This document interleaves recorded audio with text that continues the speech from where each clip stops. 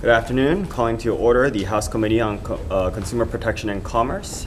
It is uh, February 9th, 2:04 PM. We are in room 329.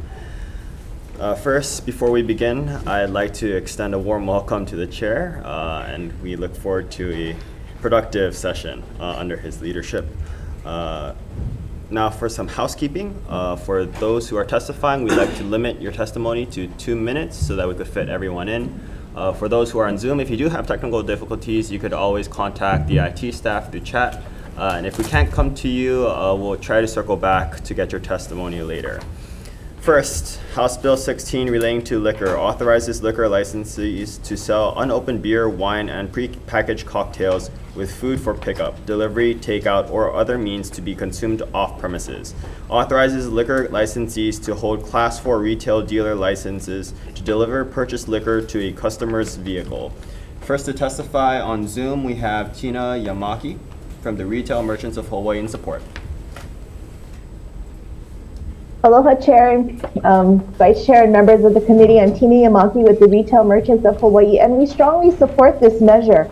You know, during the pandemic, we saw that many of our customers' um, habits have changed a lot. They got used to online shopping and then coming curbside to pick it up. We're also seeing that this has carried over even today. And um, a lot of people still are doing that. They like the fact that they don't have to go inside. We have to remember the pandemic is not over yet. And um, retailers, like many other customer service industries, constantly evolving with the demands of our customer. And curbside pickup is one of them. Um, we are seeing more people continue to order things like groceries, electronics, apparel, home goods, and lots. And it makes a lot of um, customers happy that they can just drive up, pop up the trunk, get their groceries delivered in there. Um, and customers could enjoy the fact that they can still enjoy takeout meals with an adult beverage in their comfort of their own homes. Um, and being able to obtain their grocery and other shopping needs all in one stop and not having to go into the store is going to really help them a lot. And this would include having unopened wine, beer, and mixed cocktails. Thank you. Thank you. Next, we have Collins, uh, Rick Collins from the Hawaii Public Health Institute uh, in opposition. Rick, are you there? He's present.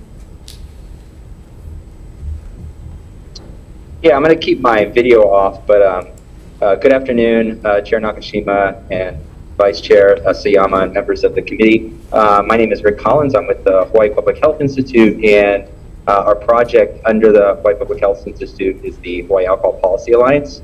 And our alliances oppose this measure, um, generally because there's strong research evidence that um, supports that the increase of availability of alcohol in communities um, results in more consumption, um, which results ultimately in more alcohol-related uh, harms, uh, including things like violence um, and other harms in communities. And so uh, the World Health Organization, Centers for Disease Control calls uh, restrictions on availability of alcohol uh, one of the top three best buys that um, we can do in communities to reduce alcohol-related harms. So I'll keep it at that. Um, we ask that you would oppose this bill, and we'll stand on the rest of our testimony. And I'm happy to ask, answer questions if anyone has any. Thank you for letting me provide some testimony. Thank you. Next, we have Garrett Marrero from the Maui Brewing Company in support. Aloha, Chair, Vice Chair, uh, members of the committee. Thank you for the opportunity to testify here. Uh, I'm, I'm going to stand on uh, my written testimony in strong support of this. You know, I, I think we have. Uh, I'd like to add, though, I think we've seen uh, this the argument that. Um, access in terms of delivery and to-go beverages uh, pre-COVID would have been world-ending. Uh, COVID gave us a unique opportunity to test this theory, and uh, to be honest, you know, we did not see large increases in, uh, you know, some of the, the concerns that Mr. Collins and his uh, alliance have. Uh, in fact, I, I've read up a lot on this issue, and the um, the way alcohol is either a delivered uh, versus even to go pickup IDs are still checked. There's processes in place to make sure that minors are not getting an increased alcohol in- increased access to alcohol. So uh, again, standing on the written testimony, um, you know, we're all trying to recover here from COVID. At- In the end of the day, this does just increase the ability for local beverage manufacturers as well as the retailers to support the clientele that aren't returning to the restaurants or to the food and beverage establishments in mass uh, and allow them to take a beverage to go summarize. uh, and enjoy it from the safety of their home. Thank you for the opportunity. Thank you. Um, Are there any members present who wish to testify on this measure? Okay, so members, we do have uh, comments uh, from the Liquor Commission, a supportive testimony from the Hawaii County Liquor Department, comments from the Kauai Department of, Kauai uh, Department of Liquor Control, uh, as well as numerous uh, testimonies in support from Beer Lab Hawaii, Lanikai Brewing Company, Honolulu Beer Works Big Island Brew House, LLC, uh, Kalapawai Market and Cafes, Kauai Beer Company, Maui Chamber of Commerce, and that's all the testimony we have for this measure. Um, members, are there any questions? Seeing none, we'll be moving on to HB 17 relating to liquor licenses. Uh, authorizes a county liquor commission to allow licensees to sell unopened beer, wine, and pack, pre-packaged cocktails with food for pickup, delivery, takeout, or other means to be consumed off premises. First to testify, we have Tina Yamaki from Retail Merchants of Hawaii in support. Aloha again. This is Tina Yamaki with Retail Merchants of Hawaii, and yes, we are in strong support of House Bill 17. This would allow um, the liquor county liquor commissions um, to allow us to have curbside pickup again. Um, as in my previous um, testimony, it is something that is trending, and as a retailer, we need to keep up with the times and what the demands of our customers are. Mahalo. Thank you. Next, we have Garrett, Garrett uh, Marrero from Maui Brewing Company in opposition. Aloha again. Uh, must be unique seeing my opposition uh, given my testimony on 16. Uh, you know, the reason for that is. Uh, a, we believe the liquor commissions already have the authority to to make this uh, appro- to approve the ability for to-go beverages. Um, you know, at the end of the day, you know, the the more tools that liquor commission does have that require more burden on not only on their system to approve a permit, but then the conditions that could be placed in every county being different. Uh, you know, I guess just a matter of the bureaucracy involved in it that we would oppose this. Um, that being said, we strongly encourage a discussion with the various departments to work within our industry to, to find a streamlined system that can be universally applied across the state to make said system uh, efficient. Uh, and for only those reasons do we oppose it, but we of course support the idea of to-go beverages. Thank you. Thank you. Next, we have Rick Collins from the Hawaii Public Health Institute in opposition. Yeah, hello, Rick Collins, uh, again, providing testimony on uh, this bill in opposition. I'm, I'm just um, um, grateful, Garrett, that we uh, are in opposition together on something, or, or together on something. So sorry for the side comment there. We'll stand on our testimony of opposi- uh, opposition to the bill. Thank you. Thank you. Any other persons here uh, to testify on this measure? Okay, members, we have comments from the Honolulu Liquor Commission, support from the Hawaii County Liquor Department, opposition from Lanikai Brewing Company, opposition from Honolulu Beer Works, opposition from Big Island Brew House LLC, supportive testimony from Kalapawai Market and Cafes, and Maui Chamber of Commerce. Members, any questions? Oh, go ahead, Representative Pure. Um, this question is for Maui County. Is Maui County here? I don't believe they're here. Is that correct? Okay, yeah, they're not here. Thank you. Any other questions? Seeing none, members will be moving on to HB 159 relating to liquor licenses. Eliminates the notarization requirement regarding applications for renewals of and transfers of liquor licenses. First to testify on this measure, we have Garrett Marrero from Maui Brewing Company in support. Aloha, Chair, Vice Chair again. Um, thank you too for consolidating these bills. Um, and Rick, uh, we're on board more than you think. Uh, we can talk about that offline. Uh, we support this. Uh, you know, it is an onerous task to get a liquor license uh, in this state. Uh, each county being very different. Oftentimes, applications are rejected for something as simple as a comma. if that's out of place and you've notarized it and God forbid you're out of state. Uh, I've se- individually, I've spent more than $200 in notary fees and next day shipping just to get a single page through uh, for processing. Uh, this streamlines the process. Um, there are many intervals in which a liquor enforcement or liquor license application intake officer uh, has to verify that that person in front of them is indeed that person and uh, executing those documents of their own free will, which is the purpose of a notary. So, uh, for those reasons, uh, I believe taking away and making it easier for business owners to conduct business would be more friendly. And for those reasons, we support this uh, elimination of notary requirement. Thank you. Thank you. Any other persons here to testify on this measure?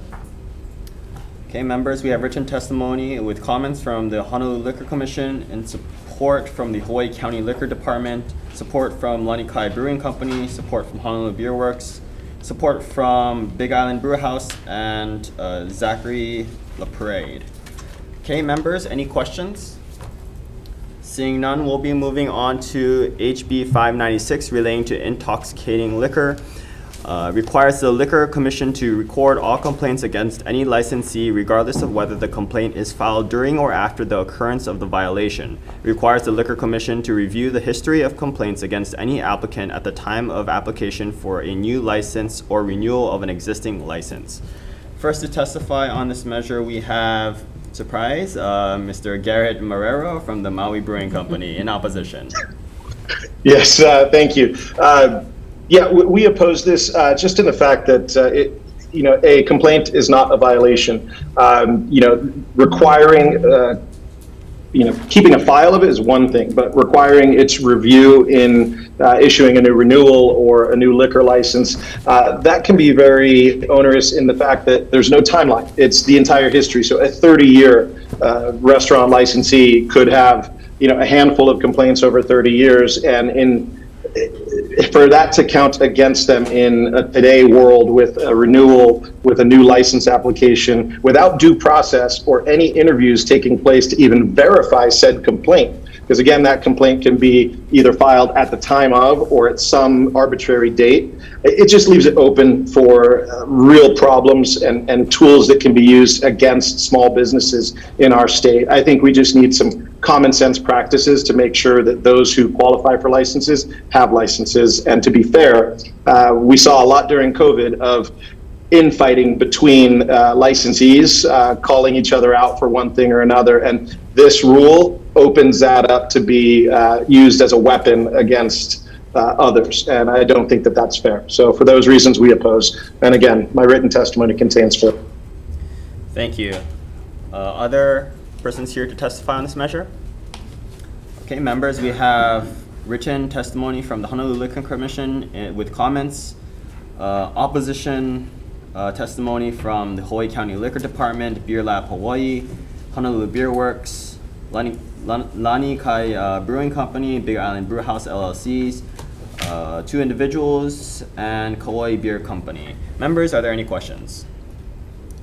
Seeing none, we'll be moving on to HB 1084 relating to liquor. This increases the per wine gallon tax on alcoholic beverages. Uh, first to testify on this measure, we have Gary Sugamu- Suganuma from the Department of Taxation with comments. Hello, Chair, Vice Chair, members of the committee, David Richmond on behalf of the Department of Taxation. Uh, The department stands on this written testimony and offering comments, and I'm available for any questions. Thank you. Uh, next, we have uh, Kenneth uh, Fink from the Hawaii State Department of Health in support. Good afternoon, Mr. Chair and Vice Chair. Um, Department of Health stands Yes. Uh, thank you. Uh, for the record, uh, for those who are viewing this virtually, uh, they stand in uh, sorry, Department of Health stands in support uh, and stands on the written testimony. Okay, uh, next we have uh, Rick Collins from the Hawaii Public Health Institute in support.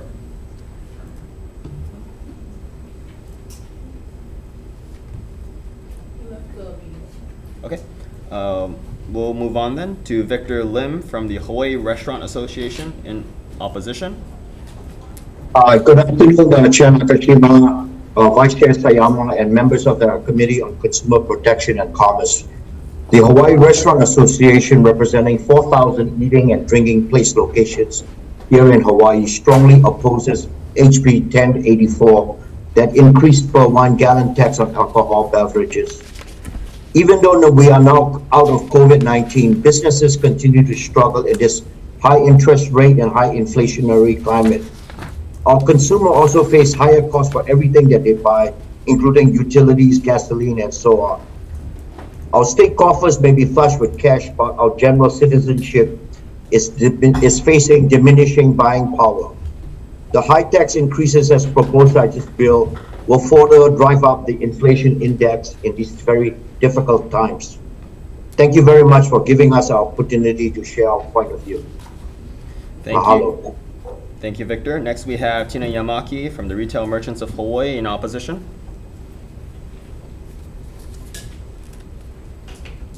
Sorry, aloha and good afternoon again. I'm Tina Yamaki with the Retail Merchants of Hawaii, and we stand in opposition to this bill. Hawaii is already the second highest tax state just under California.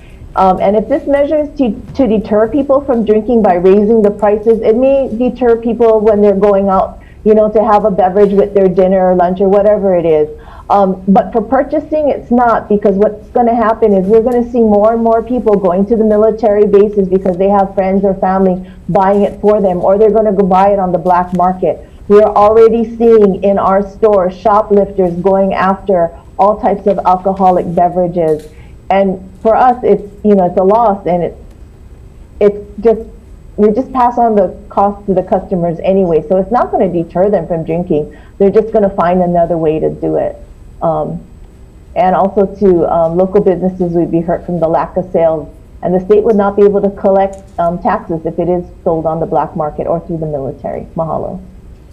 Thank you. Next, we have Tom Yamachika from Tax Foundation of Hawaii with comments. Uh, Good afternoon, Chair, Vice Chair, members of the committee, Tom Yamachika from Tax Foundation. Um, We are concerned about the economic impacts, uh, and we will send our testimony and be available for questions. Thank you. Next, we have Mihoko Ito from the Wine Institute in opposition. Good afternoon, Chair, Vice Chair, members of the committee. Mihoko Ito on behalf of the Wine, uh, In- Wine Institute. Uh, We do stand uh, on our testimony in opposition, but I would just like to highlight a few things. Um, First of all, uh, this measure would actually result in the price of wine being the highest uh, in the country. Um, We agree with the other testifiers that um, now may not be the right time to be raising prices on everything in the light of the current inflationary environment. Um, The bar and restaurant industry in particular have been particularly hard hit um, as a result of the COVID pandemic. And these taxes tend to be um, regressive because they impact um, those in lower income brackets the most um, significantly. And one more thing to point out is this increase that's proposed in this bill is actually, it operates just like the excise tax does, which means that it operates within the three-tier system uh, in which alcohol is distributed. It, uh, it uh, is imposed at every level, which actually inflates it even more. Um, So we just ask you to think about those impacts and defer this bill. Thank you very much. Thank you. Next, we have Garrett Marrero from the Maui Brewing Company in opposition. Aloha again. Uh, yes, in opposition for the same reasons uh, my colleagues are. Um, you know, number one, too, that I'd like to point out is that being a regressive tax uh, does impact the lower income uh, households more. Uh, second, in, in reality, it has the least effect. A tax increase has the least effect on beer consumption versus other commodities. So it's not really an effective way to curb that. Uh, you know, beyond that, we are experiencing in some cases 50 to 60 percent increases in cost of goods. So speaking from a local business standpoint, you know, if the taxes are go up, it's levied universally across beer or wine. So our local producers are going to be hit the hardest. These are the producers that are employing our neighbors, employing all Kama'aina, and supporting the economy here, paying the taxes here. Um, you know, someone who maybe decides that a particular brand foreign produced imported from the mainland is cheaper than buying a local product the local businesses are going to see the biggest negative impacts from this, and we're the ones that fought through COVID to keep our people employed, to make sure that we had uh, food and beverage establishments for people to enjoy safely. So uh, now is certainly not the time, and I would argue, I'm going to go on record, I want to pay more taxes, and we're going to hear a bill here in a moment about how I can do that by being able to produce more. It should be about growing businesses and working together to be able to find a way to help support this state. But a tax increase will not have the impact intended and will only hurt local businesses. Thank you. Thank you. Are there any other persons here to testify on this measure? Okay, members, we have testimonies, written testimonies in opposition from the Hawaii Liquor Wholesale Association, Lanikai Brewery Company, Honolulu Beer Works, Big Island Brewhaus LLC, Anheuser-Busch, Manulele Distilleries LLC, Kauai Beer Company, Brewers Association, Molson Coors, and Chamber of Commerce Hawaii. Uh, members, are there any questions? Representative Onishi. Yeah, for DOTAX.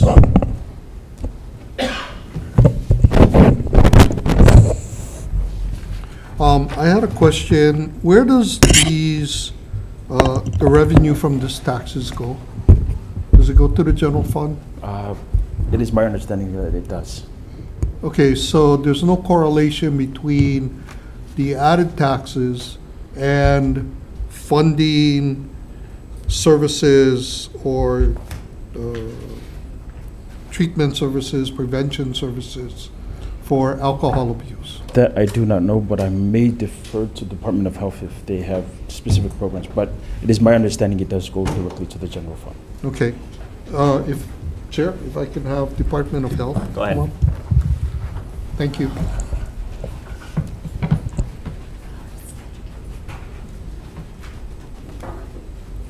Aloha, Representative. Hi, thank you for being here.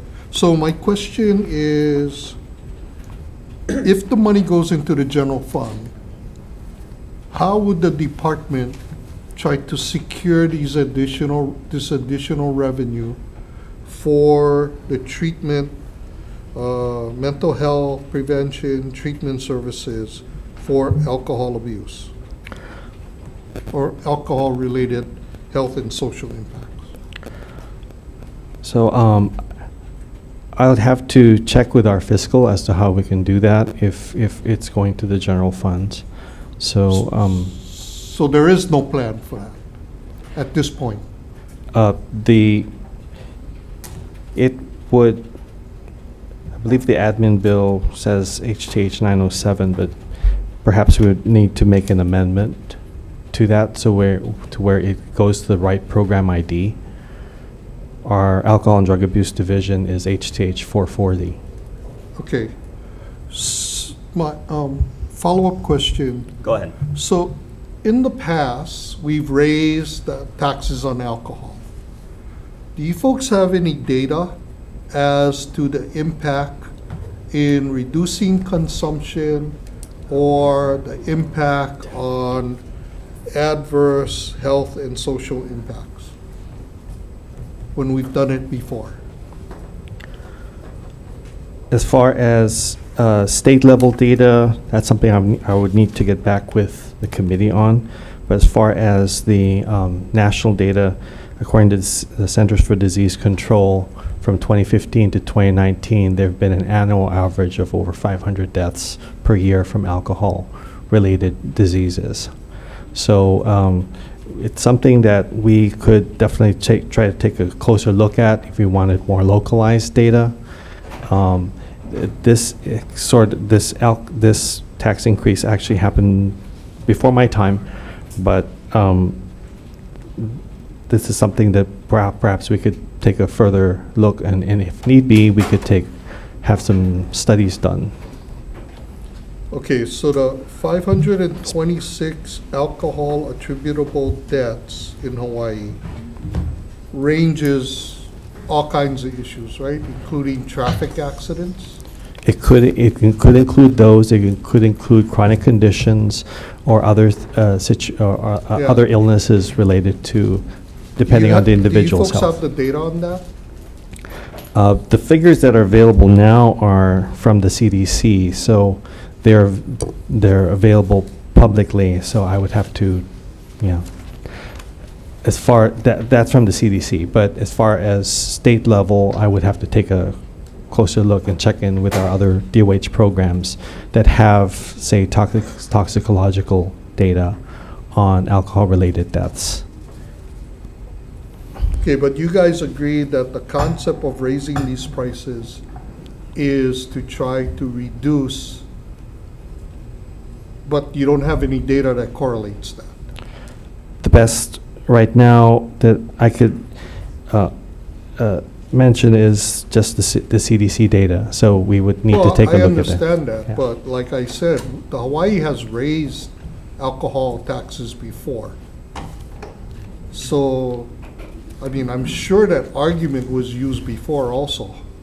You know, that it would reduce consumption, it would reduce uh, related services needed, it would reduce debts.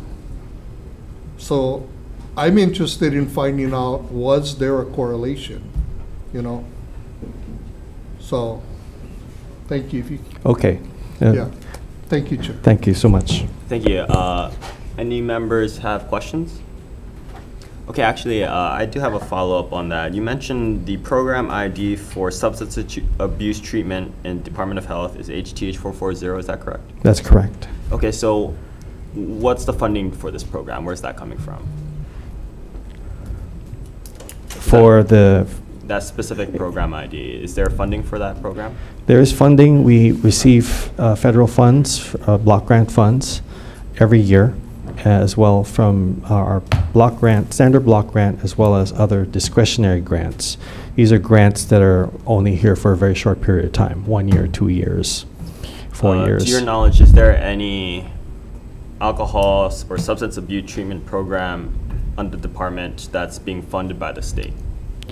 We have about a number of, uh, about a dozen primary prevention programs that could reach out to young people who, who have um, uh, probable substance use disorders, um, as well as uh, about three dozen treatment contracts with treatment providers who can help.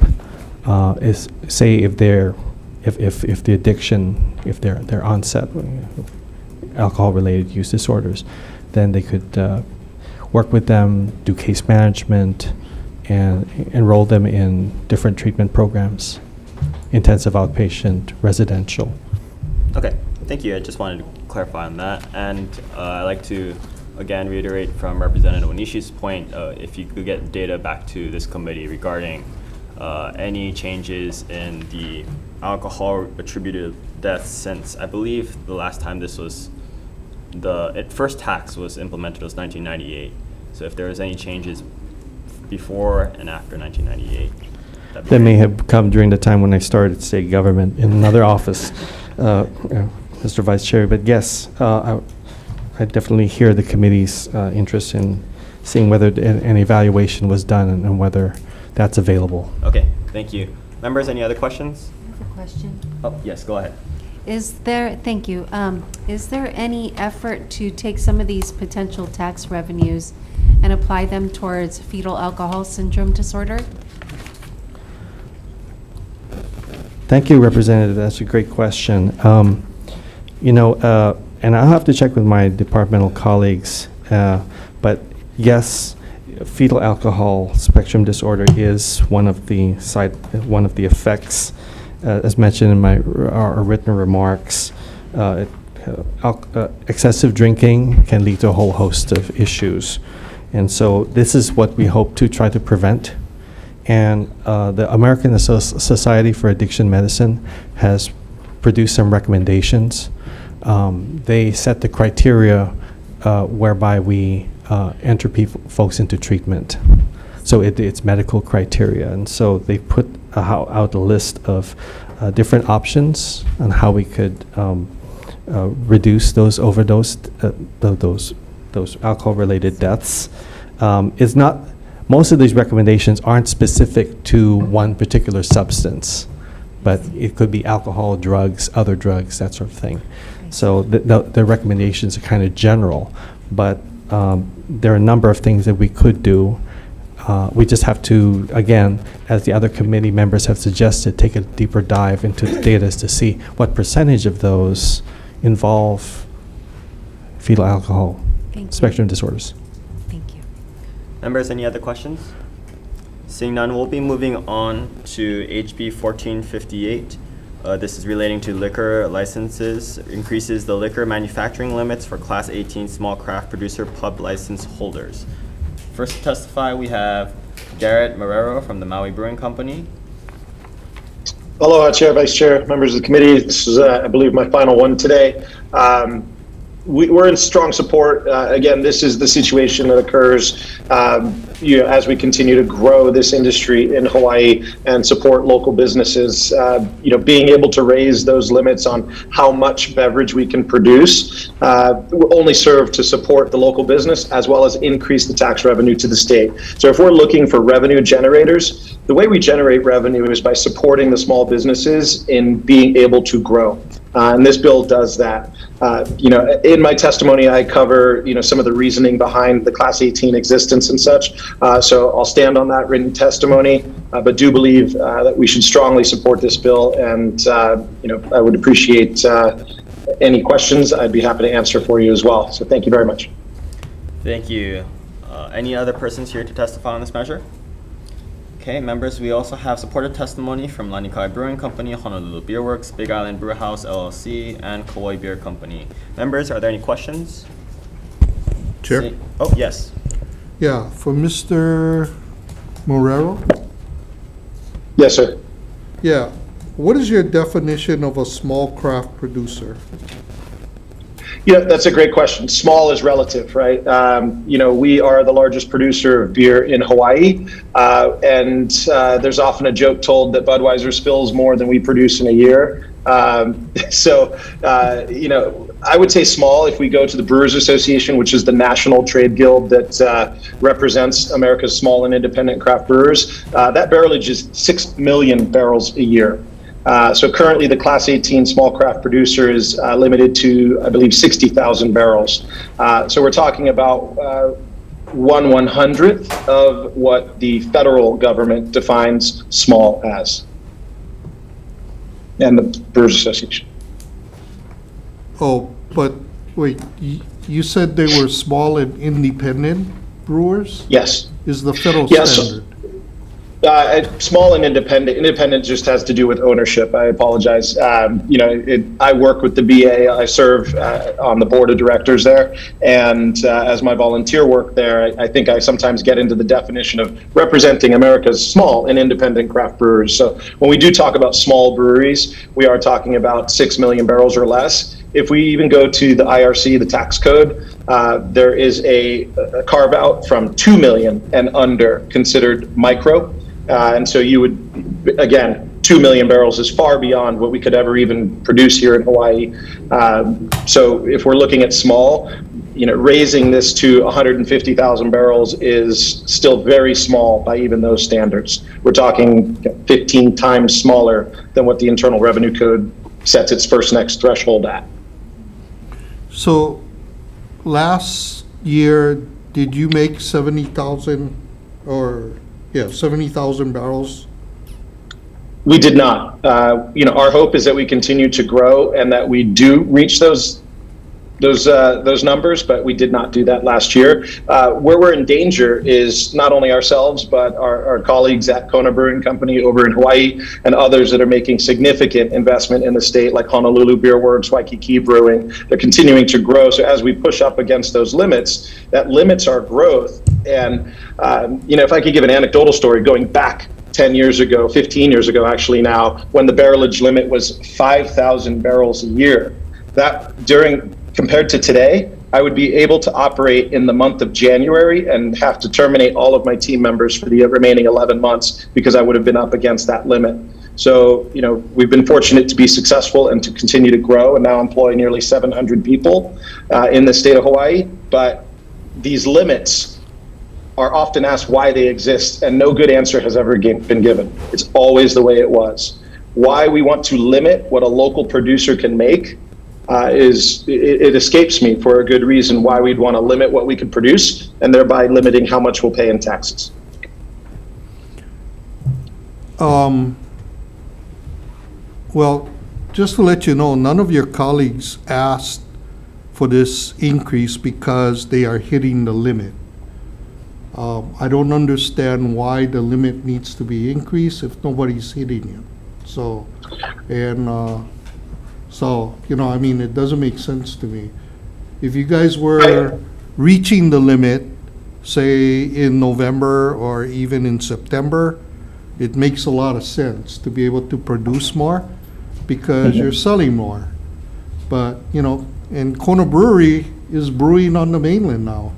So, you know, I don't know that they qualify as a, truly a Hawaii brewery or a small craft brewery.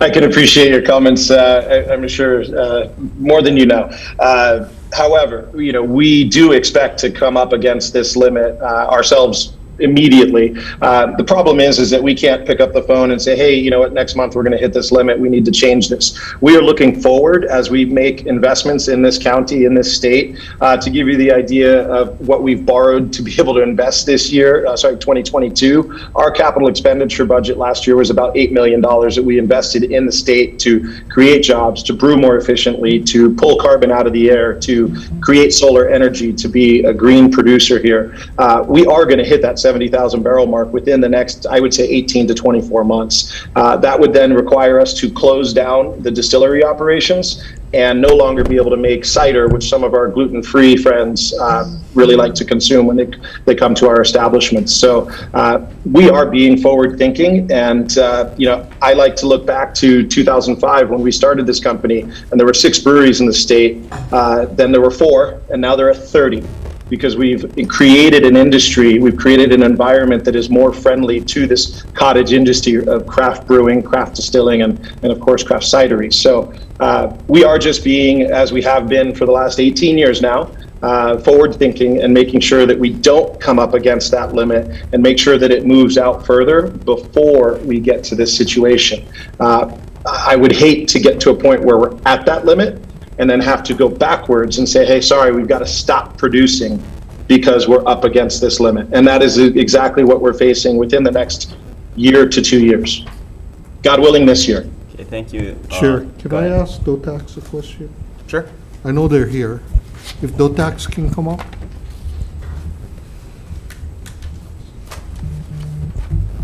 So you guys are responsible for collecting these taxes from the local breweries, correct? Yes. And that is based on how much is being produced, correct? I do apologize, Onishi. I don't know the technical side of how we're collecting that. Well, I mean, we just But had a bill about the taxes. Yeah. So I'm assuming it's, it's based on production. Yes, production. So would you be able to furnish us a report of the local breweries and over, say, the past five years, how much was produced uh, based upon these different categories, uh, based on the taxes that they paid? So that we can get an accurate uh, indication of what is being produced and what the need is. So, you know, I mean, 150 may not be sufficient for us to not have to review this every two, three years. So, you know, I mean, if you guys can help produce that. We'll definitely we'd provide that. appreciate it. We'll share You with can the provide it committee. to the chair. Thank you. Thank you, Chair. Thank you. Members, any other questions? Okay, seeing none, we'll be moving on to HB 24, HD1, relating to water uh, common carriers. Removes the requirement that water common carriers secure prior, secure prior approval of the Public Utilities Commission to enter into long-term leases of more than three years and leverage leases. First to testify, we have Leo Asuncion uh, from the Public Utilities Commission with comments. Aloha, good afternoon. Um, Chair Nakashima, Vice Chair Sayama, and members of the House Committee on Commerce, oh, sorry, Consumer Protection and Commerce Committee. Um, my name is Andrew Okabe. I am here on behalf of Chair Leo Asuncion for the Public Utilities Commission. We stand on a written testimony offering comments on HB 24 at HD1, and we're available for any questions the committee may have. Thank you. Thank you. Next, we have Dean Nishina from DCCA in opposition. Aloha and good afternoon, Chair Nakashima, Vice Chair Sayama, members of the committee, Dean Nishina with the Division of Consumer Advocacy. You have our written testimony in opposition. I'm available for questions if you have any. Thank you. Thank you. Next, we have Chris Nakagawa from Young Brothers in support. Good afternoon, Chair, Vice Chair, members of the committee. Uh, my name is Chris Nakagawa on behalf of Young Brothers. Um, we'll stand on us- our um, strong support on written testimony and available for any questions you may have. Thank you very much. Thank you. Are there any other persons here to testify on this measure? Okay, members, we also have written testimony and support from Matson's Navigation Company as well as Hawaii Harbor Users Group. Members, any questions? Okay. Seeing none, we'll be moving on to HB 1029. This is relating to the use of electronic filing by the Public Utilities Commission. Authorizes the Public Utilities Commission to use electronic filing processes, including electronic service of documents to conform to the provisions of Chapter 269, 271, and 271G, Hawaii Revised Statutes, and current practices. First to testify, we have uh, Public Utilities Commissions in support. Hi, Chair Nak- Nakashima, Vice Chair Sayama, and members of the committee. My name again is Andrew Okabe. I'm here on behalf of Chair Le- Leo Asuncion from the Hawaii Public Utilities Commission.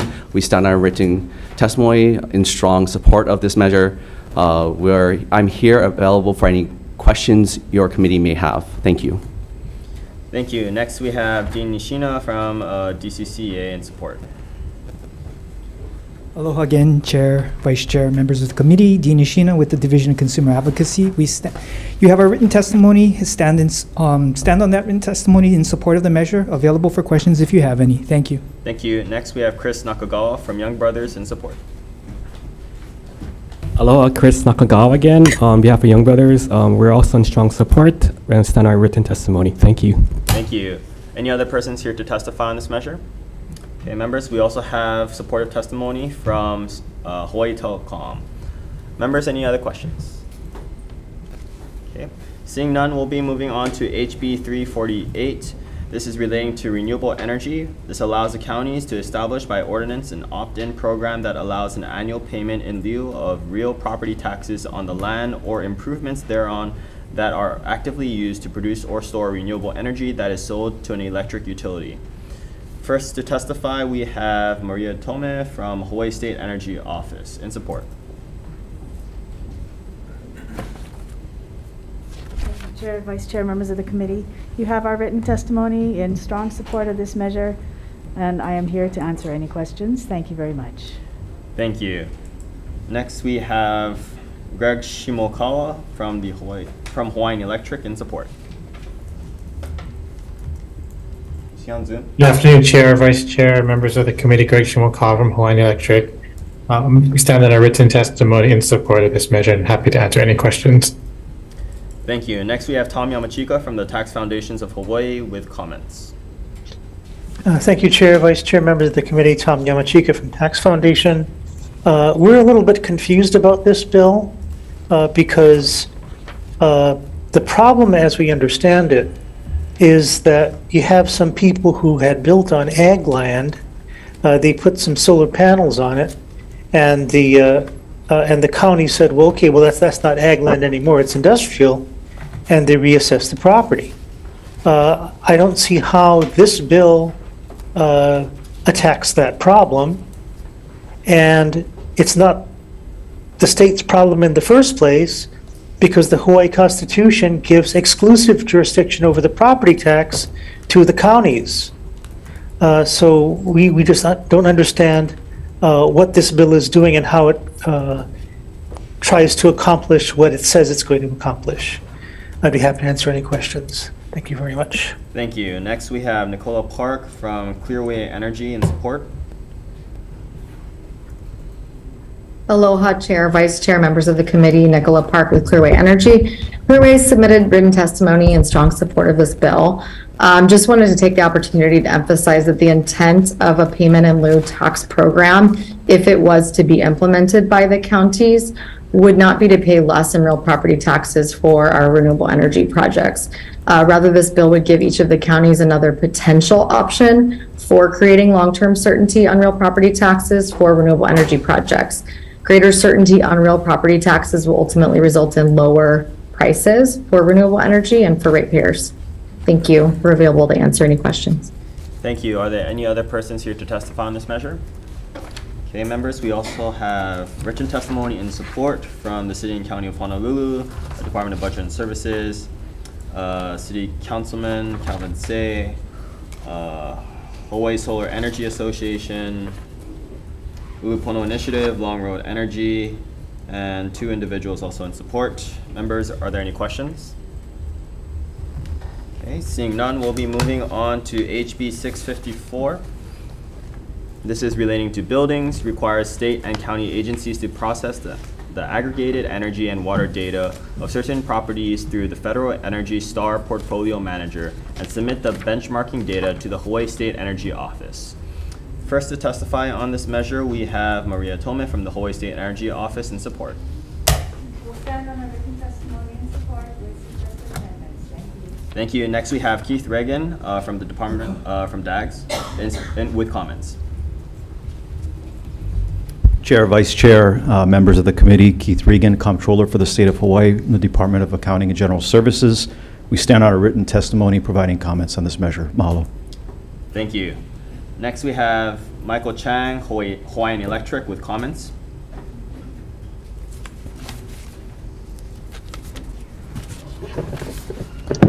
Hello, it's Michael Chang from Hawaiian Electric. I'm here to support Lonnie in her uh, testimony, so I'm available for any questions. Thank you. Thank you. Next, we have uh, Hawaiian uh, Kaiulani uh, Shinsato, Hawaiian Electric, uh, with comments. Aloha, Chair, Vice Chair, members of the committee. This is Kaiulani Shinsato here on behalf of Hawaiian Electric. We will stand on our written testimony providing comments and recommended revisions to the bill. Available for any questions. Thank you. Thank you. And next, we have Caroline Carl, Hawaii Energy, in support. Aloha, Chair and Vice Chair, members of the committee. Chester Carson on behalf of Caroline Carl and Hawaii Energy. Um, and we just stand on our written testimony in support and here for any questions. Thank you. Thank you. Next, we have Matthew Geyer, uh, in support. Aloha, Chair, Vice Chair. Uh, Thank you for hearing this measure. I stand in support. Uh, Making buildings more efficient will keep uh, more money in Hawaii, will make our environment cleaner, safer, and healthier for everyone. So thank you for hearing and supporting this measure. Aloha. Thank you. Okay, uh, any other persons here to testify on this measure? Oh, Go ahead. Thank you. Ted Bohlen on behalf of the Climate Protectors Hawaii. Aloha Chair Nakashima, Vice Chair Sayama. The Climate Protectors are strongly supporting this bill. It is about building efficiency. This is an initial stage where we're collecting data. We have a program from EPA which makes it easy to do so. So we're trying to find out what energy use and water use the buildings have. And once that's done, we can benchmark them and in the future be able to tell where we should best go in order to be more efficient. So this can save us all money. It's a good bill. I hope you approve it. Thank you. Thank you. Um, Any other persons here to testify on this measure? Okay, members, we have written testimony and support from the City and County of Honolulu, Office of Climate Change, Sustainability, and Resiliency, Board of Water Supply, Ulupono Initiative, BOMA Hawaii, as well as several individuals with supportive testimony. Members, are there any other questions? Okay, seeing none, we'll be moving on to HB 54. Uh, This is relating to education, establishes a nationally certified school psychologist incentive program, appropriates funds for the incentive program. First to testify, we have Brenna Hashimoto uh, from Department of Human Resources Development with comments. Hello, Jeff, uh, Deputy here. Uh, We stand on the written testimony providing comments. Thank you. Uh, Next, we have Keith Hayashi, Department of Education and support. Aloha Chair Nakashima and Vice Chair Sayama. Annie Kalama, Office of Student Support Services, uh, providing testimony on, the, uh, on behalf of the Department of Education. We stand on our testimony, a written testimony in support of HB 54 HD1. We're here for question, uh, to answer questions if you have any. Thank you. Thank you. Next, we have Leslie uh, Baunach uh, from the Hawaii Association of School Psychologists in support. Hi, my name is Leslie Baunach with the Hawaii Association of School Psychologists. Uh, aloha reps. Thank you so much for hearing our bill today. This has been a long-standing issue of shortages of school psychologists within the state of Hawaii. In addition, we have not done anything to remediate this problem. I have been in the state for 12 years and have seen nothing done to change this issue. Meanwhile, children's mental health has continued to be on the rise, and so much more so now that we've had the COVID epidemic. We need highly qualified school psychologists and other mental health providers to serve Hawaii's keiki to meet these needs. The nationally recommended ratio for school psychologists is one school psychologist to every 500 students. We are at approximately 1 to 2,900, almost 3,000 on a given day.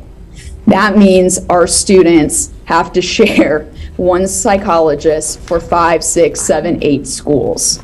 This is not okay.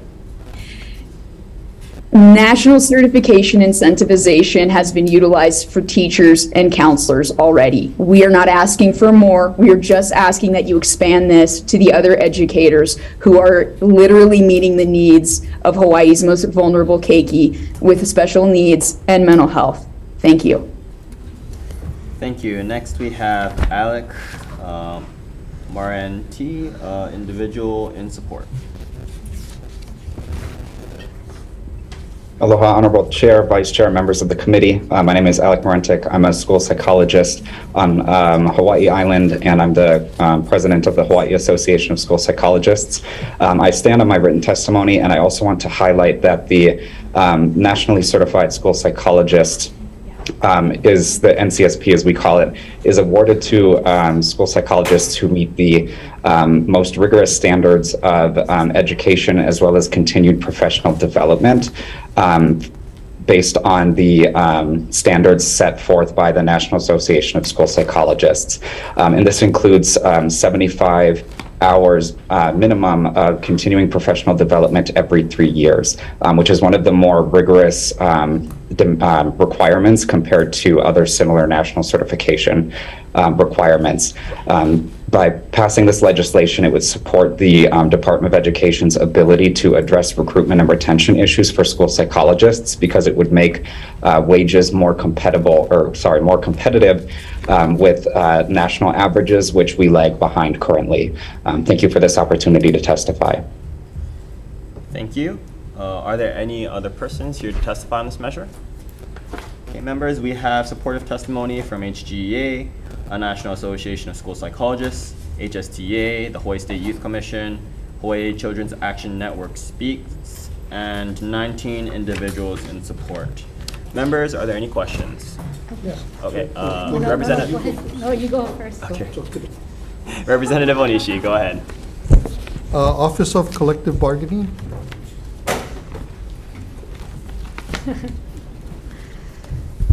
Oh. I'm here uh, replacing our chief negotiator. Oh, Director, yes. Jeez, I better ask you an easy question. Okay, good. That's all, that's all I can answer. That's Yeah, I know. Uh, So, do you have, uh, well, can you tell us, what is the average pay in Hawaii for school psychologists?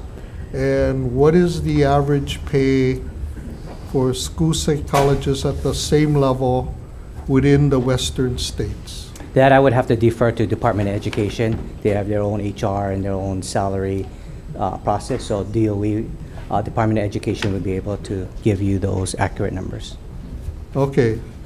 Well, I, I thought because you had concerns about it being negotiable. Yeah, so for us is the That would process. be Yeah. a concern of Yeah, yours. so the comments is uh, regarding the process where typically the process would be that they negotiate this out there, and then we come to the legis- legislature and ask for a specific amount. So the concern we just wanted to highlight is that um, when we look in comparison to all psychologists, um, if this is an issue that should be brought uh, as a collective bargaining issue. Okay, thank you. Chair, if I could ask, or Vice Chair, can I ask DOE? Go ahead. Similar question. So you heard my question to uh, Deputy Director Yamani. Do you guys have that information? We do know that our average pay is 64,000 for school psychologists here in the state of Hawaii. I don't know how that compares to the national average. This bill seems to be not just certification, but because they get certified, they get more pay. Correct, incentivizing certification. So if we're already, if you don't know how it compares to other states, how can we compete for recruitment? Well, we know that, that um, it, it is one step to incentivize for that credential. Um, we're currently um, about 75%, um, have 75% of our vacancies filled right now. So it is a recruitment issue. We know that um, the other option would be to increase salaries, which would be negotiable, right? This is an option for us to incentivize through the credentialing. Yeah, but I mean, even if you credential the person and the people in the other states are making more than what you're going to end up paying now, you're still going to have a shortage. Correct. What, what this also does, though, is it incentivizes those that are in the position already to um, um, stay if they get this um, particular certification. So it would assist with retention as well. Okay, so, but wouldn't repricing of school psychologists, given that they need their pay increased, be also an incentive to retain and to recruit? Yes, that would be also an incentive. Repricing would be, yes. Thank you. Question for DOE. Go ahead. Uh, There are a number of bills moving through this legislative session asking for funding for various mental health professionals, school psychologists, licensure. Does this certification process enable the psychologist that's in your schools to draw down on Medicaid funds? I'm not sure. Do you know, Ida?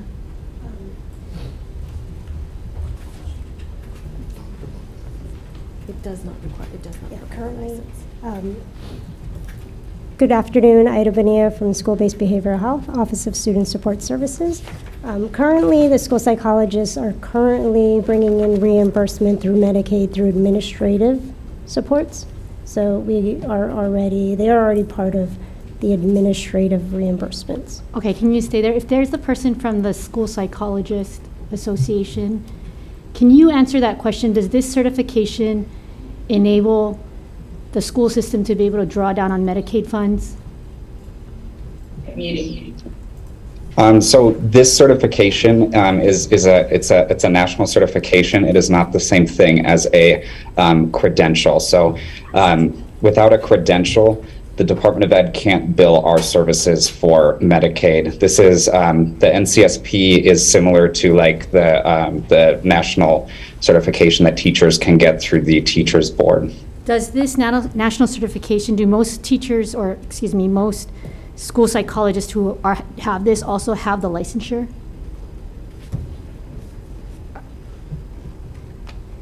And this is directed to the person who's a school psychologist.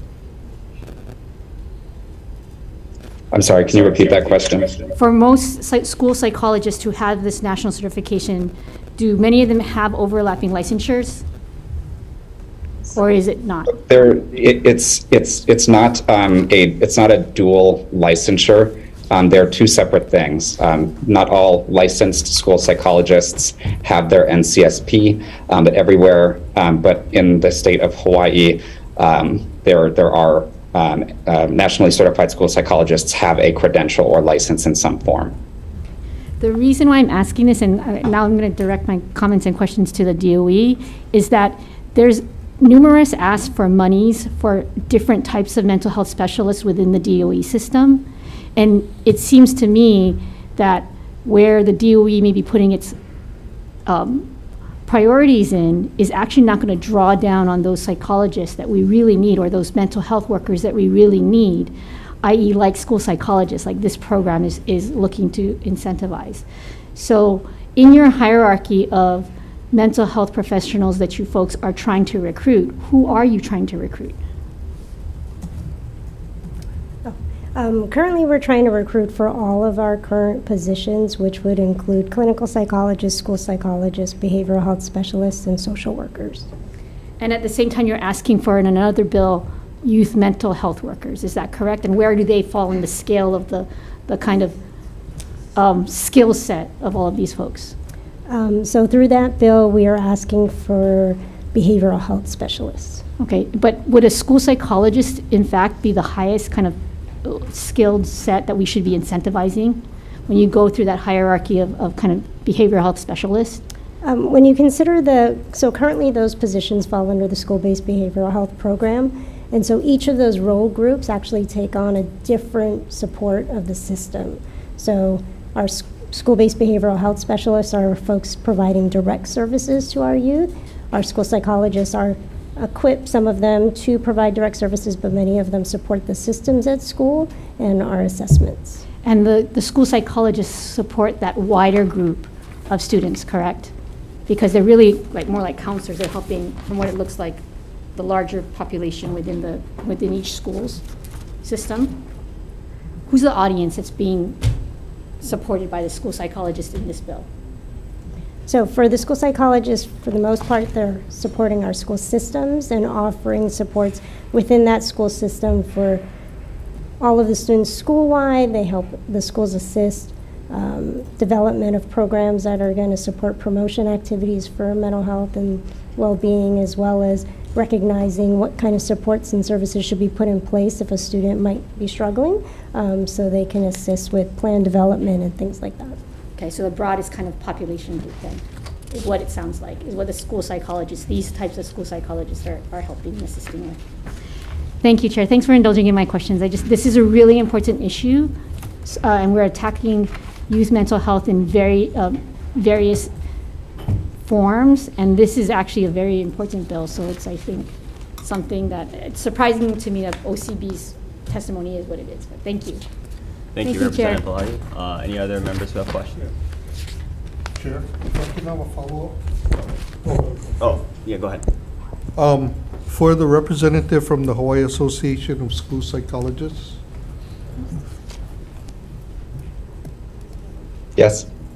yeah, I, did you hear my questions prior about the salaries for Yeah. Hawaii yes. and uh, at least the western states? Do you have any data on that?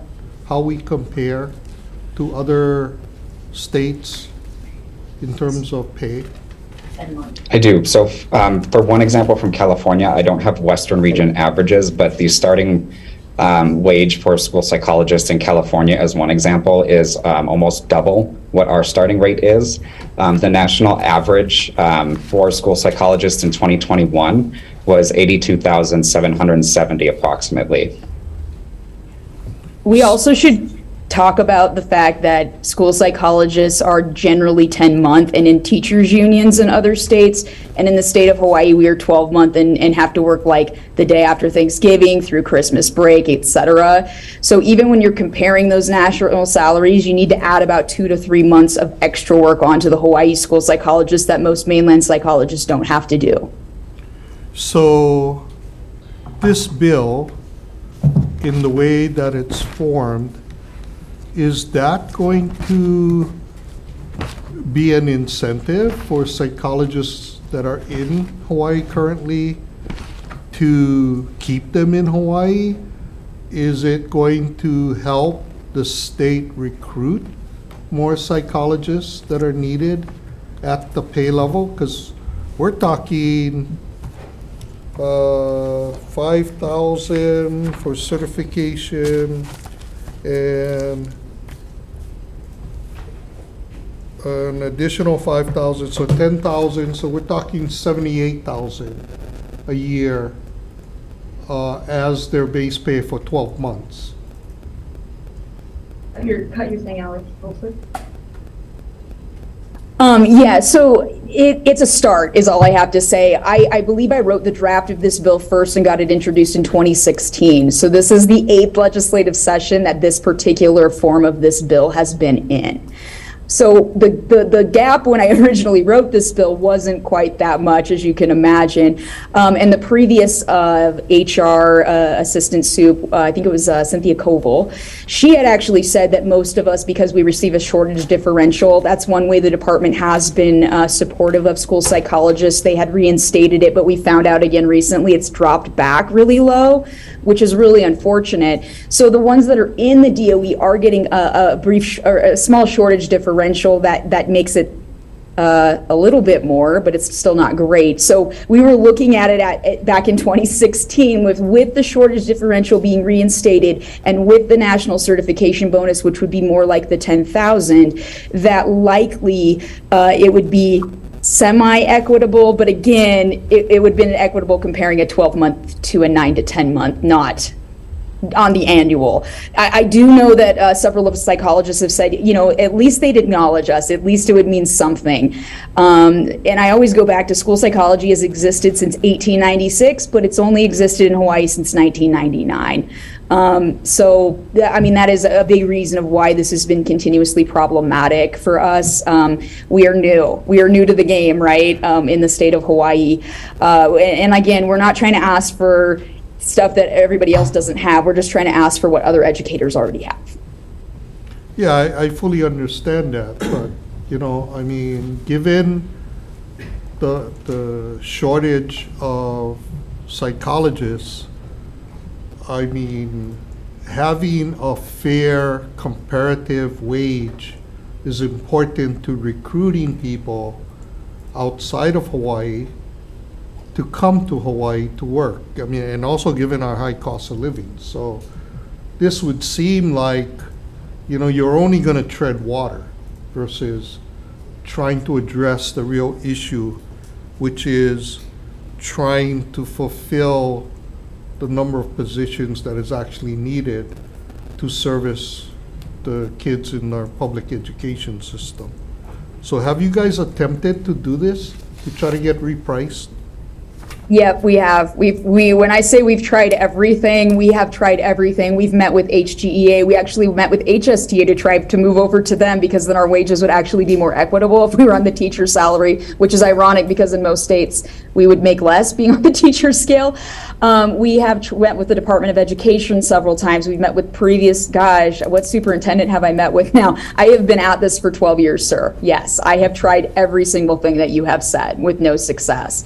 Um, and that is why in 2014, 15, 16, I started writing legislation for licensing school psychs, as we're the only state in the nation without a credential, and, and in incentivizing and doing other things. And that's why we got the shortage differential back, is because myself and another board member sat down with Kishimoto, and she was kind enough at the time to reinstate our differential. So when I say we have tried everything, we have literally tried everything. Okay, thank you, thank you, Chair. Thank you. Uh, members, any other questions? Questions? Sorry. You, uh, DOE?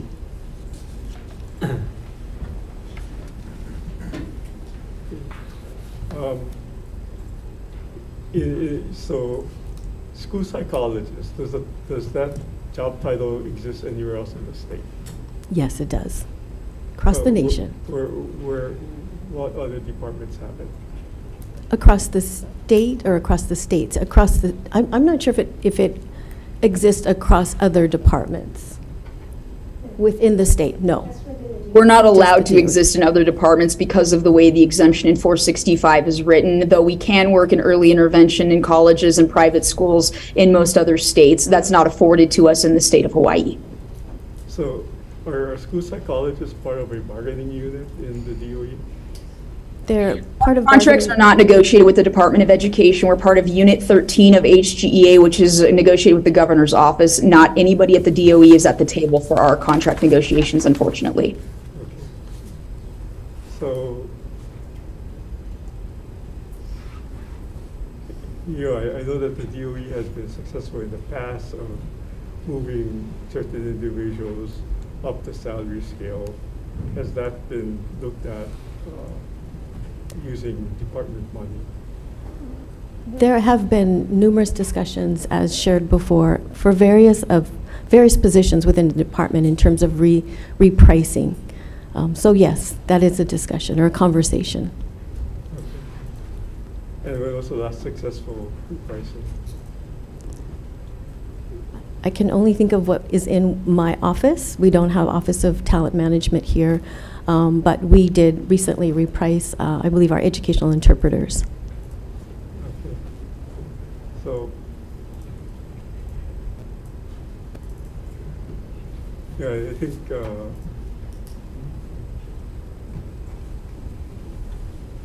on, uh, from the, I guess from the labor side, I'm concerned about, um, granting repricing. Um, and, uh, I, I'm, I'm concerned about granting repricing uh, legislatively. And so, you know, I would much prefer it be negotiated uh, with the bargaining unit. Uh, that being said, um, I, I would, uh, I guess, encourage that we look at um, uh, reopening the negotiations with HGA to see if uh, there was anything possible uh, in terms of repricing, and then coming to the legislature for um, a fulfillment of the of that obliga- of the collectively bargained uh, obligation, as opposed to coming to us first. So that that would be uh, a recommendation I have for you to uh, take back to the department and mull over. Okay, thank you. Absolutely. We'll uh, communicate that with DHER. Thank you. Thank you. Uh, Members, any other questions? Okay, seeing none, we'll be moving on to HB 57 relating to workers' compensation. Authorizes wages of other employees in comparable employment to be considered when computing the average weekly wages of an injured public board member, reserve police officer, police chaplain, reserve public safety law enforcement officer, sheriff's assist, chaplain, volunteer firefighter, volunteer board enforcement officer, or volunteer conservation and resource enforcement officer. Clarifies computation of average weekly wages of an injured volunteer firefighter for workers' compensation benefits purposes. Uh, this is, uh, excuse me, HB 57 HD1. Uh, to testify, we have uh, Jade Pate from the DLIR in support. Hello, Chair, Vice Chair, and members of the committee, Joanne Vittenhar with the Department of Labor, and we stand on our written testimony and support and available for any questions. Thank you. Thank you. Uh, Are there any other persons here to testify on this measure? Okay, members, that's all we have for testimony. Are there any questions? Okay, seeing none, we'll be moving on to HB uh, 1241. This is relating to right of entry for professional surveyors. Authorizes professional land surveyors to enter any private property to perform land surveying, subject to certain provisions regarding notice, identification, and liability. Shields land surveyors from prosecution under criminal trespass laws when performing their duties. First to testify, we have uh, the Attorney General's office uh, with comments. Good afternoon, Chair, Vice Chair, members of the committee. Christopher Leong, Deputy Attorney General. Uh, you have our written testimony um, offering comments and some amendments to the wording of this bill. I just want to briefly highlight, um, you know, at, up front in this testimony, uh, up front in this testimony, as we did in the written, um, that there is a concern that if this bill is enacted into law, it, it does, you know, eh, raise a, a property right issue because it would uh, allow persons to enter the property of others without the consent of those others. Here, it's the, the owners or occupiers of the adjoining lands in this bill. And so that is, you know, something that needs to be looked at. Um, That being said, our testimony does go on to uh, offer specific written um, amendments, uh, which I'm not going to go through all in detail, um, that would help to further effectuate the intent of this bill. Um, But with that, you know, I'm, I um, will be here and available for questions. Thank you. Thank you. Uh, next, we have Meyer uh, Cummins uh, from the Hawaii Land Surveyors Association in support. Aloha Chair, Vice Chair, members of the committee. Uh, my name is Meyer Cummins. I am a land surveyor licensed to practice in the state of Hawaii. I'm also director on the board of Hawaii of land, uh, excuse me, the Hawaii Land Surveyors Association, which represents the majority of the licensed land surveyors in the state. Uh, first, I stand by my testimony previously submitted in favor of this bill, a bill that grants a right of entry to surveyors without the consent of a landowner, owner, but subject to reasonable notice is necessary for land surveyors to do their jobs and protect private property interests. Understandably, there are some concerns that this right of entry bill amounts to a taking of property rights without just compensation. Indeed, the right to exclude one uh, is one of the most fundamental rights in our society. However, the bill does not grant a, bl- a blanket right to the public at large to enter and occupy private property any time they wish without compensating the landowner. Such a right was found to be unconstitutional in the Kaiser-Aetna case. Instead, this bill provides a temporary right to a discrete group of professionals licensed to perform surveys by the state to enter land, but only after providing the landowner with a minimum of five days' notice. Despite those caveats, however, it is my understanding that the U.S. Supreme Court in uh, Cedar Point Nursery versus Hassid has recently deemed under most conditions that any invasion of land sanctioned by the government, whether temporary or not, will amount to a taking per se if the owner is not paid just compensation. However, the U.S. Supreme Court in that same decision left open the door when it stated that there will not be a taking where a government requires property owners to cede a right of access as a condition of receiving a certain benefit. That condition must be roughly proportional to the use of the benefited property. Here, land surveyors are licensed by the government to inspect, correct, and maintain a stable and reliable private property regime to maximize the exercise of a landowner's private property rights and reduce litigation that may occur due, uh, due to disputes arising from uh, boundary discrepancies. These are benefits for the private owner as well as society at large, and the benefits are proportional to the minimal access being granted to surveyors. Under this framework, a temporary right of entry for surveyors for the strict purpose of conducting a survey fall under the exception to the takings determination and should be permitted under the police powers of the state to benefit the safety and welfare of the community. Uh, therefore, I humbly request that you vote in favor of HB 1241 to protect the public interest and the land surveying community of professionals. Mahalo nui for this op- opportunity to testify. Uh, if you have any questions, um, I'm available. Thank you. Thank you. Next, we have Sheena Choi from the Board of Professional Engineers, Architects, Surveyors, and Landscape Architects with comments. Good afternoon, Chair, Vice Chair, members of the committee. My name is Sheena Choi, Executive Officer of the Board of Professional Engineers, Architects, Surveyors, and Landscape Architects. We would like to stand on our written testimony um, and are available for questions. Thank you. Thank you. Next, we have Joanne Williamson uh, from the Hawaii Land Surveyors Association in support. And we'll be moving on then. Next, we'll have Lindsay Garcia from the Hawaii Realtors uh, with comments. Sir? Oh, Would you like to come back to me or later? Uh, you know what? Why, why don't you go ahead? Okay. Thank you. Sorry about that. Uh, this is Joanne Williamson. I'm a land surveyor in the state of Hawaii. I've been a land surveyor for over 30 years. I'm I'm also on the board of directors of HLSA and the National Society of Professional Surveyors. I stand in strong support of this bill. Uh, there are tw- there are, and for um, all the reasons Mr. Cummins mentioned, there are 26 other states that have similar legislation allowing sur- professional surveyors the right of entry. Um, there is a link in my written testimony if you would like to see those those um, legislative matters. Thank you. Thank you. Uh, next, uh, Lindsay Garcia from Hawaii Realtors with comments. Good afternoon, Chair, Vice Chair, and members. My name is Lindsay Garcia from the Hawaii Association of Realtors. Uh, we have comments on this measure. We acknowledge the concerns raised by the AG. However, if the committee is inclined to pass the measure, we would respectfully request the land surveyor provide 10 days notice instead of five days notice in order to give the property owner ample notice and the opportunity to reschedule. Thank you. Thank you. Are there any other persons here to testify on this measure? Okay. Uh, committee members, we have written testimony and support from several individuals as well as Action Survey LLC uh, and four other testimonies in written support. Uh, are there any questions? Yes. Yes, go ahead. Uh, This is for the Attorney General's office. So with the uh, U.S. Constitution Fourth Amendment in mind, um, where does your office um, bear testimony? With the Fourth Amendment, So I'll, I'll read it. It's one paragraph. The right of the people to be secure in their persons, houses, papers, and effects against unreasonable searches and seizures shall not be violated, and no warrants shall issue but upon probable cause, supported by oath or affirmation, and particularly describing the place to be searched and the persons or things to be seized. Well, I mean, respectfully, Rep, I, you know, the Fourth Amendment, you know, which I'm, I'm sure you know, is, is typically applied in a, in a criminal law context, right? In terms of criminal, um, you know, searches and seizures of, of persons or property. Um, and so I'm, I'm, I guess, I guess my answer is I'm, I'm not really sure that it would have applicability to this bill.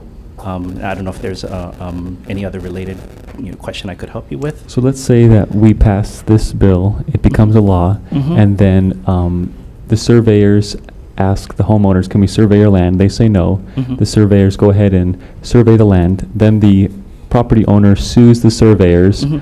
um, and then one of the lawyers cites the Fourth Amendment in the lawsuit. Do you have any commentary on that? Well, I, I again, um, same answer. I think same answer to your previous question. I, I don't think the Fourth Amendment would have applicability in that context. Um, I, I do see what you're saying in, in the example. For example, this bill becomes law.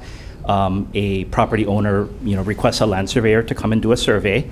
Um, and, and the survey may, uh, you know, well, obviously it's going to involve the property of the person asking for the survey, right, hiring the surveyor to do the survey, and may incidentally involve those adjoining neighboring lands. And if those adjoining neighboring landowners or occupiers, tenants, you know, don't give consent, that's, that's where the conflict, that's where the real conflict may come up, right? And so, uh, you know, they're, they're, again, this all theoretically, but there, you know, if- if, the neighboring owner decided to pursue a civil suit, you know, against the, that original landowner or against the state, um, you know, there are, you know, it, it would be, it would be in the form of a, of a civil, um, suit and civil claims either against that landowner or against the government. But again, you know, we're, we're not talking about the, the Fourth Amendment, so I, I'm, I hope that it's answering your question. Thank you. Thank you. Go ahead. Uh, Vice Chair, uh, for the AG's office. Yes. So you heard the testimony of Mr. Cummins Yes. and Ms. Williamson? Yes. In regards to uh, the Supreme Court decision Mm-hmm. and also other states having laws to these effects. So are you familiar with those? So uh, let me, I guess, let me kind of bifurcate my answer to that question, Rep. Um, you know, the um, case law that uh, Mr. Cummins referenced was actually, you know, the case that we have in, in the in the AG's testimony. So I am familiar with that case. That is, uh, you know, a takings, you know, property law case. What I'm not familiar with is um, the uh, citation that Ms. Williamson had included, and I myself only saw that. Um, you know, before the hearing when all the testimony went up. So I would actually like to have an opportunity to um, review that law. I'm sorry, I can't answer that, you know, immediately, Rep. Onishi. So, I guess in the Supreme Court case, um, at issue was whether or not the adjoining property owner got any benefit. Well, that, well, it's not an exact match to, to the, you know, the factual scenario of the bill. Um, If you want me to go into that case, Rep, you know, that, that Cedar Point Uh-huh. case, um, it's a US Supreme Court case, and it involved a California state statute that allowed um, people, um, and it was, it was specific, it's specifically targeted at agricultural land, and the intent of the bill was to allow, say, like, um, you know, union representatives, organizers to come onto that land, and, and there were various, um, you know, notice provisions and all of that, but it, it allowed those people to come onto, you know, these big agricultural properties to meet and to talk to the farm workers. And so, you know, these owners and operators of the uh, agricultural property, you know, sued, um, arguing that was a taking. And the, the Supreme Court actually did agree with that and say that that was a, you know, taking of property that required, th- that a, a state statute giving, you know, the third parties the right of access onto property, even without consent, um, wa- was a taking that would require just compensation. But there was a provision that, as was uh, mentioned by Mr. Cummins, that unless he could prove that that property owner got a benefit, right, equal to the taking. Well,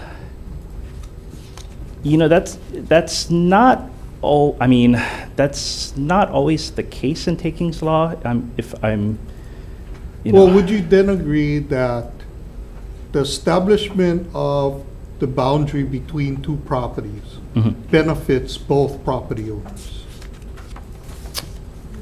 I Because think, it- I think that would, I think that would be fair to say. Right. Yes. So, but one property owner doesn't have to pay for it. It's the person who's commissioning the survey who Right. generally pays. Right. Right? Right. To get that property line established. Right. And there could be all kinds of reasons why people don't know where that line is. Sure, sure. Right? Sure. So in this case, would you be able to argue that the adjacent property owner got a benefit of delineating the exact property uh, boundary for them as well as for the person who commissioned the survey? Hmm. That's an interesting question. Um, I mean, I think, I I mean, it could be an, in- you know, an incidental benefit, because I, I assume that the, the, the owner of the adjoining property is not necessarily looking to, um, you know, get a survey, have a survey done, or have, have the boundaries fixed, right? I mean, the, the focus is on the owner of that original property, right, who's Yeah. requesting the survey. say- Say there was uh, inadvertent, um, Uh, uh, uh, it, like a, like an entry, right? Encroachment, right. That has been historical, right? And upon the survey, finding out that the person who commissioned the survey Mhm. actually was encroaching on their neighbor. Hmm. That's a possibility, Wouldn't that be a huge benefit for the neighbor? probably. I mean, so you could argue that, that it's not a taking that's without compensation. Oh, s- I mean, cer- cer- certainly, Rep. Onishi, it's- it's arguable both ways, certainly. Right, Certainly, okay, yep. Thank you. Yeah, thank you. Chair. Thank you, uh, members. Any other questions? Go ahead. So this question is for the uh, land surveyors. Uh, sir. So uh, one of my concerns is that, you know, this, may- maybe this would permit, um, this would protect somebody from filing a lawsuit against uh, a trespassing claim. Do you have any um, commentary on that? Like, how often do people file lawsuits against land surveyors when this goes into effect? You know, so it's not a it's not a uh, frequently occurring issue. Um, a lot of times, surveyors can just sort of get away with a quick trespass, but ultimately they're breaking the law uh, um, every time they do. Occasionally, it does happen. So every year we have an annual conference of the licensed sur- well, all the surveyors from the state, um, and we've been. I know I've been personally asked by three separate surveyors um, to get some sort of right of entry or protection from trespass because they've been taken to court for, you know, trespass claims. Um, I'm not sure how those claims worked out, um, and I'm not sure of the facts behind that. But I do know that a lot of times landowners don't understand what it is that we're doing. Um, and what surveyors have to do is locate evidence to determine where a boundary is that usually requires us to sort of walk around and figure out where it is, and many times we end up crisscrossing property lines. Um, so I don't know uh, how often it happens that someone gets dragged to court for trespass. I'm just not privy to that information. For all I know, it happens very often. Um, but I do know that just in order to execute our duties, we regularly trespass. And we want to just make sure that our members are protected in case there is some landowner looking to, you know, enforce their property rights, which they have, um, and through some misunderstanding, they end up suing the land surveyor, when the land surveyor may or may not have been doing anything um, untowards, just doing their job. So um, I know that's not the best answer to what you're looking for.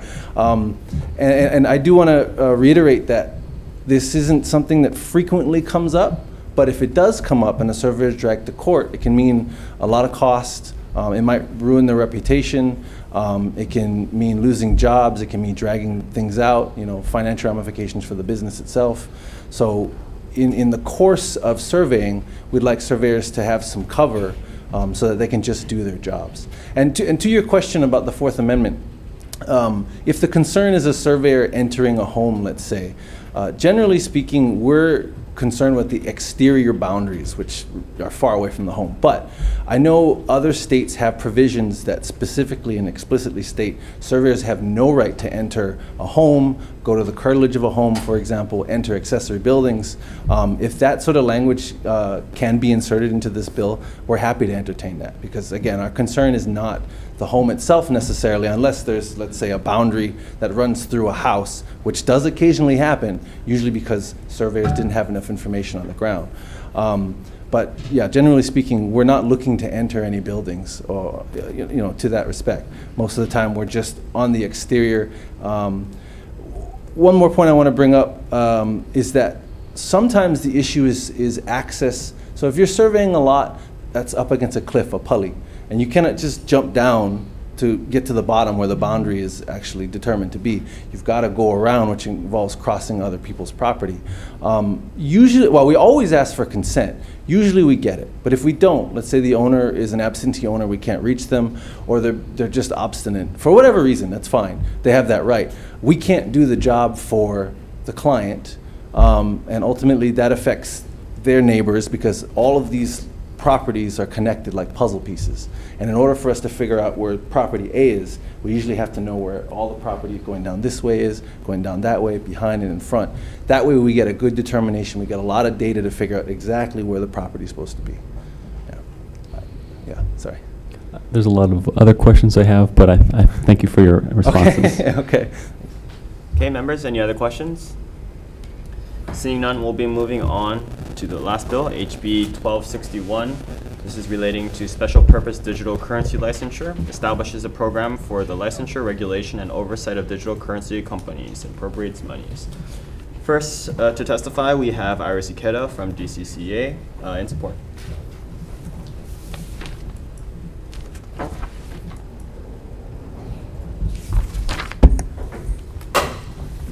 Aloha Chair and members of the committee. My name is Iris Ikeda. I'm the Commissioner for the Division of Financial Institutions. So as you know, digital currency has grown in popularity and acceptance in the state, nationwide and globally, but there's very little regulation over this particular industry. We did launch a, um, a research project called the Digital Currency Innovation Lab in 2020, and from that, we were able to design a um, regulatory scheme with the industry, which we have before, before you folks. Um, as you folks also are aware, there have been some recent failures of digital currency companies, and that this has illustrated the volatility of these units, how quickly a company can fail, and how consumers are left with really nothing of value.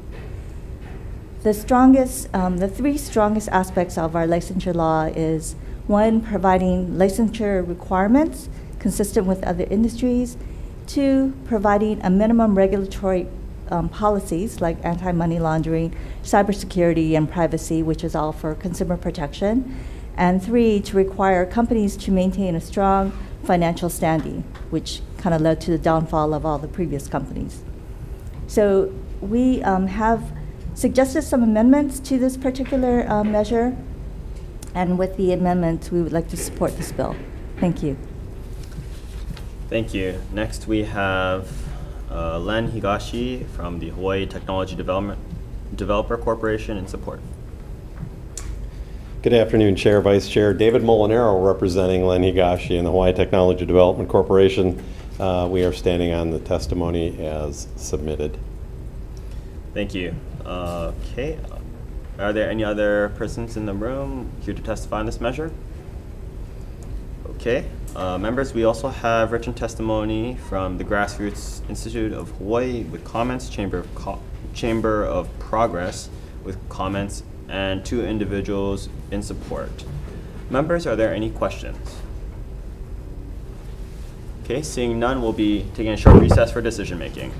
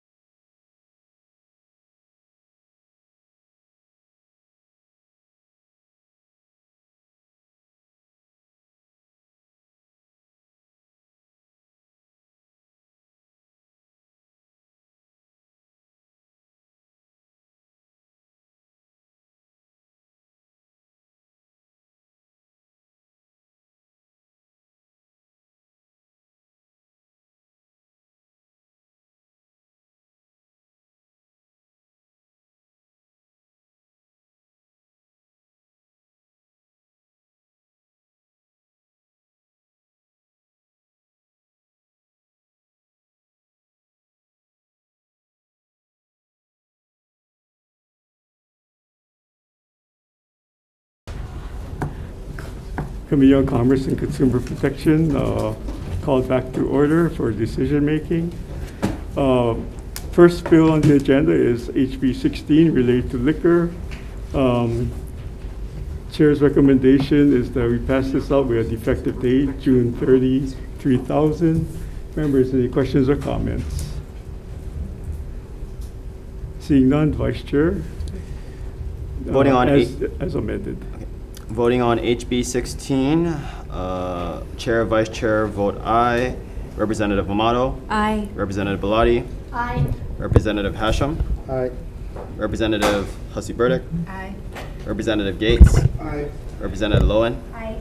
Representative Onishi? Aye. Representative Tam? Aye. Representative Pierick? Aye. Thank you, Chair. Your recommendation is adopted. Okay, thank you very much, members.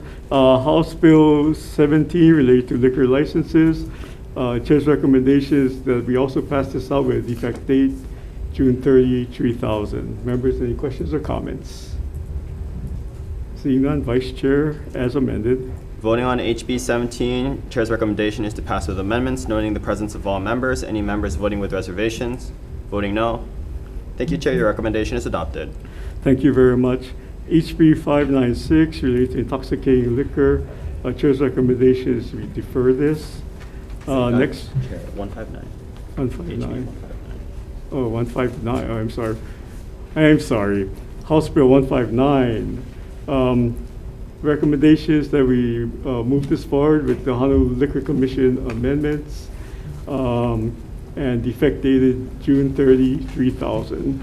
Members, any questions or comments? Not members, as amended. Voting on HB 159, Chair's recommendation is to pass with amendments, noting the presence of all members. Any members voting no? Any members voting with reservations? Thank you, Chair. Your recommendation is adopted. Thank you very much. House Bill 596 related to intoxicating liquor. Chair's recommendation is that we defer this. Uh, Next, HB 1084 related to liquor. Um, For the committee report, I'd like to note that this is, uh, the effective date recommended by DOTAX is January 1st, 2024. For the purpose of the bill, uh, we'll defect date this June 30, uh, 3000. Oh, I'm sorry. We're deferring this. We're deferring this measure. 1084. I'm sorry. Okay, uh, HB 1084 uh, deferred. HB 1458 relate to liquor licenses. Uh, Chair's recommendation, we defect this June 30, 3000. Members, any questions or comments? Chair. Representative Onishi. Yeah, I just uh, am concerned that there was no justification made as to why um, they wanted these increases. And uh, I'd like for us to base these decisions upon uh, information and data. And, you know, having asked DOTAX to provide us uh, some database on taxes being collected, I think uh, would be uh, we would be able to make a better decision as to exactly how much uh, these increases should be if we're going to implement any. So with that, I'm going to be voting with reservations for now. Okay. Uh, Representative Onishi, is that House Bill 1084 you're talking about? No, 1450, Okay. Okay. 1458, right? Okay, thank you very much. Any other comments, questions? Not, uh, Vice Chair, as amended. Okay, voting on HB 1458, uh, Chair's recommendation is to pass with amendments, noting the reservations vote from Representative Onishi. Anyone, any other members voting with reservations? Any other members voting no? Thank you, Chair. Your recommendation is adopted. Thank you very much. Uh, House Bill 24, House Draft 1, related to water common carriers. Uh, Chair's recommendation is that we defer this measure. House Bill 1029, uh, related to the use of electronic filing by the Public Utilities Commission. Um, The uh, Chair's recommendation is that we move this forward um, with uh, amendments uh, to make the bill uh, include, it, it, it's noted that uh, on page four, lines four to 18, page seven, line 13 to 17, and page 11, uh, lines eight, 8 to 20, the amendments on the three sections are electronic copies of documents. However, the uh, language is only be added to one of those sections, and we would like to make it consistent throughout the bill and add the um, amendment to all three sections. Other amendments for technical, uh, technical amendments needed for clarity, consistency, and style. Um, Chair's recommendation we also defect date this June 30, 3000. Members, any questions or comments? Okay, seeing none, Vice Chair, as amended. Voting on HB 1029, Chair's recommendation is to pass with amendments, noting the presence of all members. Do any members vote no? Any members voting with reservations? Thank you, Chair. Your recommendation is adopted. Okay, thank you. HB 4, uh, 348, uh, relating to renewable energy. Um, Bill contains uh, defective effective date. Chair's recommendation is pass this as is. Members, as is. Any questions? Seeing none, uh, Vice Chair, as is. Voting on HB 348 HD1, Chair's recommendation is to vote as is, noting the presence of all members. Do any members vote no? Any members voting with reservations? Thank you, Chair. Your recommendation is adopted. Thank you very much. House Bill 654, House Draft 1, related to buildings. Um, The Chair's recommendation is that we move this forward with the uh, amendments recommended by the State Energy Office. um, That uh, we do additional amendments for clarity, consistency, and style. Effect date the bill to June 30, 3000. And um, on line four, uh, page four, line five, apply to all buildings with more than 10,000 square feet. And um, committee report should note uh, alternate values and date transparency information is not defined. And other technical amendments for clarity, consistency, and style. Members, any questions or comments?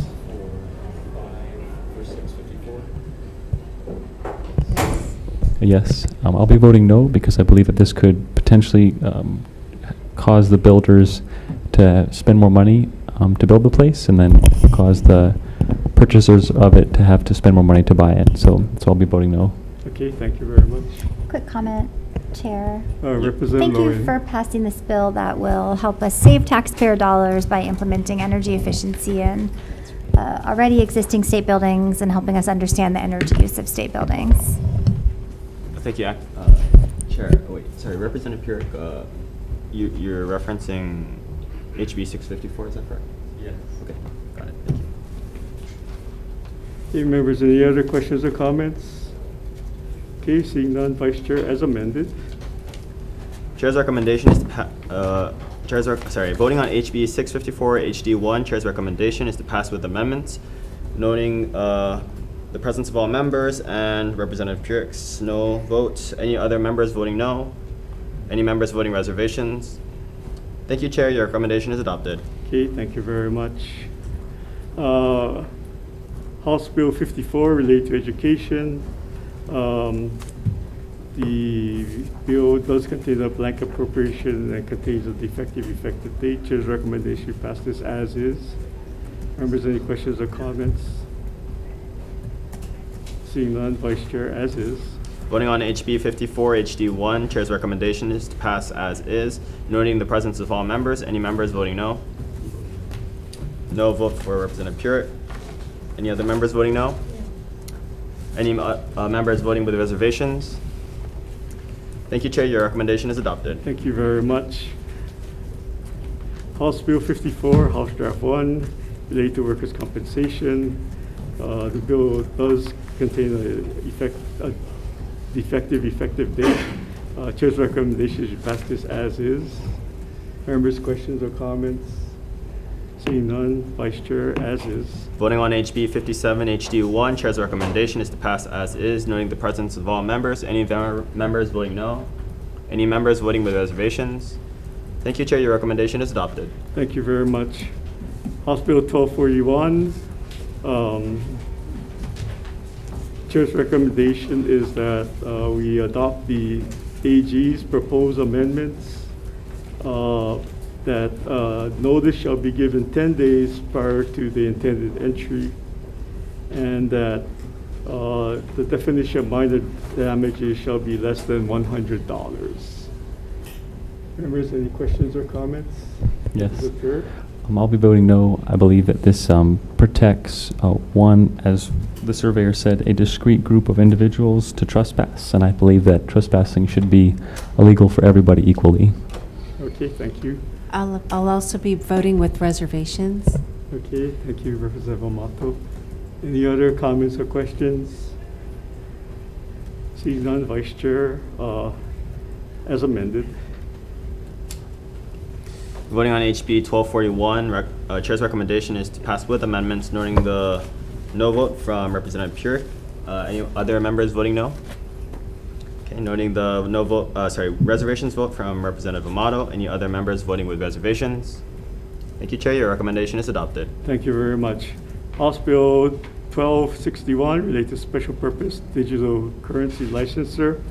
Uh, Chair's recommendation is that we adopt the DCCA amendments, other amendments for, uh, technical amendments for clarity, consistency, and style. And um, that's it. Uh, Members, any questions or comments? Seeing none, Vice Chair as amended. Chair, uh, voting on HB 1261, Chair's recommendation is to pass with amendments, noting the presence of all members. Any members voting no? Any members voting with reservations? Thank you, Chair. Your recommendation is adopted. Thank you very much, members. We are adjourned.